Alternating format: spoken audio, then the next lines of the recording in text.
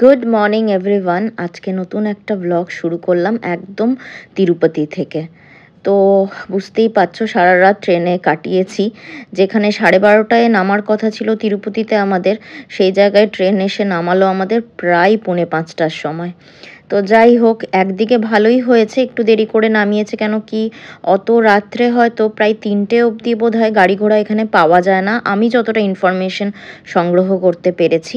আর হ্যাঁ ব্লগের প্রথমেই আমি ধন্যবাদ জানাতে চাই আমার এক খুব প্রিয় এক দিদির কাছে। সে তার জন্যই কিন্তু আমার এখানে আসা হয়েছে। মানে উনি আমাকে পুরোপুরি গাইড করে দিয়েছিলেন যে কি করে এই তিরুপতিতে আসতে হয় আর কি। যেহেতু কিছুটাই এখানে আমার জানা ছিল না মানে আমি প্রায় লাস্ট এক দেড় বছর ধরে চেষ্টা করছি তিরুপতি আসার জন্য, নিজের মানতটা পূর্ণ করবার জন্য, কিন্তু কোনো রকমভাবেই পেরে উঠছিলাম না। তো যাই হোক সেই দিদির মানে খুবই সাহায্যে আজ আমি পৌঁছতে পেরেছি। সমস্ত ইনস্ট্রাকশন এবং এত ভোরবেলায়ও আমার খোঁজ নিয়েছে যে আমি ঠিক মতন পৌঁছেছি কি না আমরা। তো খুবই ধন্যবাদ জানাই আমি তাকে। আর এখানে আসার যে নিয়মটা, সেটা আমি তোমাদেরকে আস্তে আস্তে বলব। আপাতত তো স্টেশন থেকে বেরালাম আর এখান থেকে একটা ক্যাব ভাড়া করলাম। ক্যাব ভাড়া কিন্তু এখান থেকে বারোশো টাকা মতনই নেয়। তো দিদি বলে দিয়েছিল আগেই যে বারোশো টাকা মতন নেবে। তো বারোশো টাকা বলাতে আমরা দরদাম করিনি, আমরা সোজাসুজি ক্যাবে উঠে গেছি। ক্যাব ঠিক বলব না, ওই বড় গাড়ির মতন।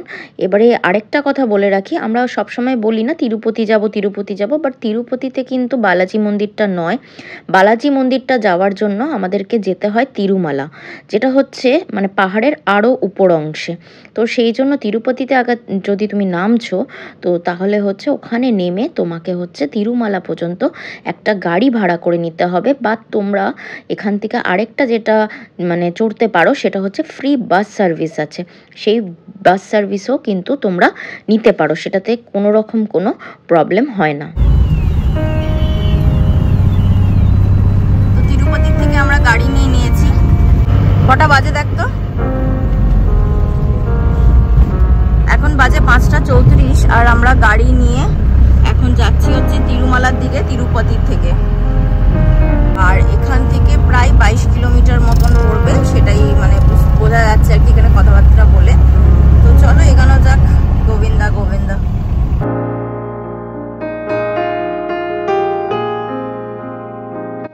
কোনো রকমভাবে এখানে আলো ফোটেনি, কিন্তু এখানকার ওয়েদার জানুয়ারি মাসে কিন্তু একদম অন্যরকম। এক ফোঁটাও ঠান্ডা নেই, উল্টে এত গরম লাগছিল যে আমাদেরকে শীতের জামা কাপড়গুলো রীতিমতো এক এক করে খুলে ফেলতে হয়। আচ্ছা এবার তোমাদেরকে বলি কীভাবে এখানে এলাম।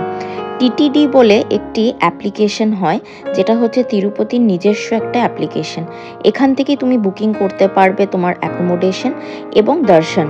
দুটোই তুমি ওখান থেকে বুক করতে পারবে। আচ্ছা এই বুকিং যদি তুমি অনলাইনে এইভাবে করতে চাও তার জন্য কিন্তু প্রায় তিন মাস আগে ওরা অ্যাডভার্টাইজ দিয়ে দেয় বা নোটিফিকেশন চলে আসবে তোমার ফোনে যদি তোমার অ্যাপ্লিকেশনটা থাকে। তো সেইভাবে ওখান থেকে বুকিং করতে হয়। সমস্ত টাকা পয়সা তখনই অনলাইনে জমা দিয়ে দিতে হয়। এই দেখো এখানে এসে পৌঁছালাম হচ্ছে সিকিউরিটি চেকিংয়ে মানে এরপর তুমি তিরুপতিতে ঢুকে যাবে। তো তার আগে ঢোকার আগে কিন্তু ভালো মতন সিকিউরিটি চেকিং হয়। ব্যাগে যেন কোনো রকমভাবে কোনো নেশা জাতীয় দ্রব্য না থাকে, সেটা কিন্তু ওরা ভেতর পর্যন্ত অ্যালাউ করে না। সিগারেট বিড়ি খৈনি কোনো রকম কোনো জিনিস কিন্তু ওরা অ্যালাউ করে না। তো সেই জন্য সেইভাবে ব্যাগ কিন্তু নিয়ে যেতে হবে। আর এখানে যে চেকিংটা হয়, এই চেকিংটার পরেই তোমার শুরু হয়ে যাবে তিরুপতির রাস্তা। তো এই যে এখানটায় বেশ একটু লাইন পড়ে আর কি এই জায়গাটাতে, যেহেতু প্রত্যেকজনকে নিজের গাড়ির থেকে নেমে যেতে হবে। সে তুমি যে কোনো গাড়িতে থাকো না কেন, এই যে দেখতেই পারছ, সবাই মিলে লাইন করে ওই যে মেয়েরা হচ্ছে একটি লাইনে এবং ছেলেরা হচ্ছে অপরদিকে আরেকটি লাইনে সমস্ত লাগেজ নিয়ে চেকিং করাতে যাচ্ছে। আচ্ছা আমাদের কিন্তু চেকিং এবারে মোটামুটি কমপ্লিট। আমরা চলে এসেছি চেকিং পয়েন্টের ঠিক উল্টো সাইডে। এখান থেকে হচ্ছে আমরা হচ্ছে এগাবো তিরুমালার দিকে। এর গাড়িটা একটু দূরে দাঁড়িয়েছিল, তাই আমরা খুঁজছিলাম আর কি এখান থেকে। আর ওই যে দূরে দেখতে পাচ্ছ আলো, তো ড্রাইভার বললেন যে, ওই যে ওখানে আলোটা দেখা যাচ্ছে, দেখো একটি সিঁড়ির মতন আলো দেখা যাচ্ছে। ওটা হচ্ছে আলাপিড়ি।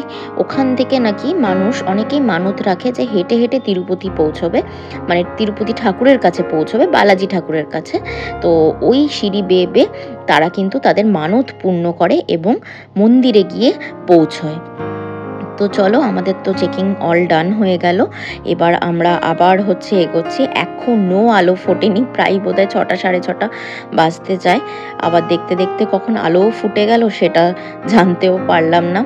রাস্তা এত সুন্দর, এত অর্গানাইজডভাবে রাস্তাগুলো যে কিছু বলার নয়। এক ফোঁটা নোংরা তোমার কোথাও চোখে পড়বে না।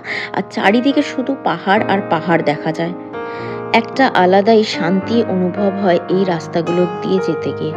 আমি জানো তো তিরিশ বছর আগে তিরুপতি এসেছিলাম, খুবই ছোট্টবেলায়।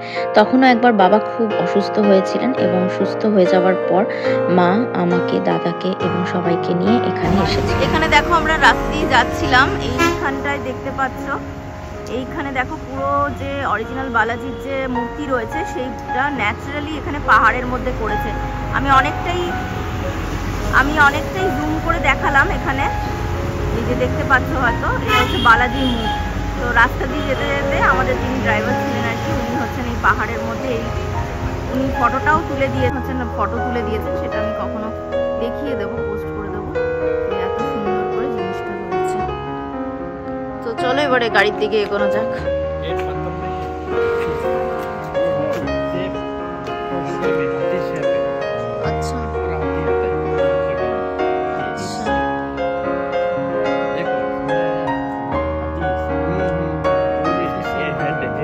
Head of the elephant elephant হ্যাঁ হ্যাঁ হ্যাঁ হ্যাঁ হ্যাঁ এটা বলছে এলিফেন্ট মাথাটা। এই।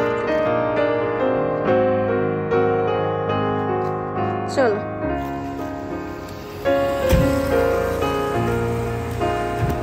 চলো এবারে গাড়ির দিকে এগানো যাক। দেখো ওখানে ওইখানে পাহাড় কেটে যেহেতু মূর্তিটা দেখা যায় এখানে আবার সবাই পুজো করেছে। এখানে বলে রাখি, একটু ভাষার প্রবলেম হতে পারে। বাংলা এবং হিন্দি এখানে কিন্তু কেউ সেরকমভাবে বোঝে না। কিন্তু খুবই কম সংখ্যক লোকই বোঝে আর কি। তো আমাদের যে ড্রাইভার দাদা ছিলেন, উনি কিন্তু মোটামুটি হিন্দিটা চালিয়ে নিচ্ছিলেন। তো তার জন্য আমাদের খুব একটা অসুবিধা হয়নি। আচ্ছা আমরা তো মোটামুটি তিরুপতির দিকে পৌঁছে গেলাম। এবার আমরা যেখানে যাব প্রথমে, সেটা হচ্ছে সিআরও অফিস। ওখানে গিয়ে আমাদেরকে নিজেদের আধার কার্ড এবং হচ্ছে যে প্রিন্ট আউটটা নিয়ে এসছি টিকিটের সেগুলো দেখাতে হবে। সেগুলো দেখালে পর ওরা আমাদেরকে রুম দেবে। তো সেই জন্য আমরা এখন সিআরও অফিস যাচ্ছি। এই হলো সিআরও অফিস চত্বর। তো এখানে হচ্ছে আমাদের প্রথমে যেতে হবে অফিস রুমে। আর এই সিআরও অফিস চত্বরে যা দেখতে পেলাম, এখানে প্রচুর খাবারের দোকান আছে। ফল থেকে শুরু করে ইডলি, ধোসা, এমনকি টয়লেটেরও ব্যবস্থা রয়েছে। আর প্রত্যেকটা জায়গা বারবার আমি একটা করে বলব, সেটা হচ্ছে যে প্রচণ্ড পরিষ্কার প্রচণ্ড পরিষ্কার। ভাবা যায় না জাস্ট তারপরে এখানে গিয়ে আমরা প্রথমে চলে যাব। আমাদের টিকিটগুলোকে ওখানে দিতে আর সেটা ওরা দিলে পর, দেখালে পর, ওরা একটা মেসেজ দেবে আমাদেরকে যেটা পনেরো কুড়ি মিনিট পর তোমার নিজের ফোনে চলে আসবে এবং সেখান থেকে তুমি জানতে পেরে যাবে কোন গেস্ট হাউসে তোমার রুম পড়েছে। আচ্ছা আরেকটা কথা এখানে বলে রাখি, যে গাড়ি করে তোমরা তিরুমালা আসবে আর কি তিরুপতির থেকে, ওখানে গাড়িওয়ালাকে প্রথমেই বলে দেবে যে সিআরও অফিসে ওয়েট করতে। তোমার যেখানে রুম দেবে সেখানে হচ্ছে সিআরও অফিস থেকে ওই গাড়িটা করে সেই রুমে কিন্তু তোমাদের চলে যেতে হবে। আমরা হচ্ছে এখন রামবাগিচা রেস্ট হাউসে ঢুকছি। এখানে হ্যাঁ, প্রথমে আমরা চেক ইন করব আর কি এখান থেকে। আর এখান থেকে না মন্দিরটা একদম সামনে। যে মন্ত্রপাঠটা শোনা যাচ্ছে মনে হচ্ছে এটা মন্দিরেরই। চলো দেখা যাক। এখানেও বেশ কিছু খাবারের দোকান আছে। এটা মনে হয় রেস্ট হাউসটা এই যে। আচ্ছা স্ক্যানিংয়ের জন্য এক নম্বর কাউন্টারটা নয় দু নম্বর কাউন্টারটাতে যেতে হবে। তো এখন আমরা দু নম্বর কাউন্টারটার দিকে যাচ্ছি। মনে হচ্ছে এটাই এন্ট্রি পয়েন্ট দেখা যাক। তো আমরা এখন তো রুম পেয়ে গেছি। রামবাগিচে একটু ফ্রেশ হয়ে নিলাম। ফ্রেশ বলতে ব্রাশ ট্রাশ করে নিয়ে আর তোমার, কি বলে, একটু ফল খেয়ে নিলাম। না, খালি পেটে থাকাটা সত্যি মানে উচিত নয় কারণ কি এখানে একটা জায়গা থেকে আরেকটা জায়গা যেতে গেলে পর অনেকটা হাঁটতে হয়। এমনকি রুম থেকে বেরিয়ে আমি যে গেস্ট হাউসটার মুখ অব্দি যাব, সেটাও বেশ অনেকটা রাস্তা হাঁটতে হচ্ছে। আর সেই জন্য এখন যাচ্ছি হচ্ছে কালিয়াম কাট্টাম বলে একটা জায়গায়, যেখানে হচ্ছে তোমার চুল দেব আমি আর কি। মানতে আমার এটাই ছিল তো যে চুলটা দেবো, তো পুরো চুলটাই আমি দিয়ে দেব। তো ওইটার জন্য এখন যাচ্ছি। আর কিছু টার্মস যদি আমি ভুল বলে থাকি উচ্চারণে, যেমন কাল্যাম কাট্টাম, যেটা আমি শুনছি সেইটুকুই উচ্চারণ করে বলছি, যেহেতু মানে অন্য ভাষায় সব কিছু রয়েছে। হয়তো ঠিক করে নাও বলতে পারি। যতটা পারব অবশ্যই রেকর্ড করব আর তোমাদেরকে বলব।